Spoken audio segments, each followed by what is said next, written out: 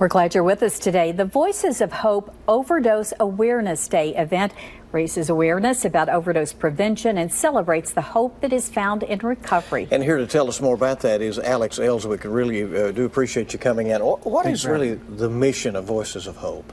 So our mission is to promote lifelong recovery from the chronic disease of addiction, and so we do that through education and advocacy and research and providing what we call recovery support services.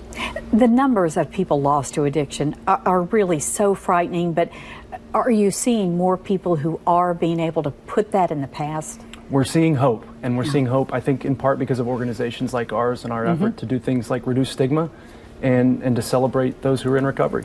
You bring in uh, speakers uh, from time to time. Certainly, this event that you're going to tell us about is uh, one of those where you'll have some of the best. We'll have some of the best. We'll hear from uh, a mother who lost a, a, son to overdose, and that's hard. But at the same time, uh, we also have people who can share the hope of recovery. So, Rob Perez, who runs DV8 mm-hmm. Kitchen, will be out, and they'll be catering the event and we'll hear from them, and uh, it's going to be it's going to be exciting. And I guess it really does. It must make you excited to see people like Rob stepping up and and coming up with great projects that help your cause. Absolutely, yeah. We, we really uh, encourage people who are in recovery to stand up and do what we call recover out loud mm-hmm. and, and, say, hey, I'm in recovery and this is what recovery looks like for me.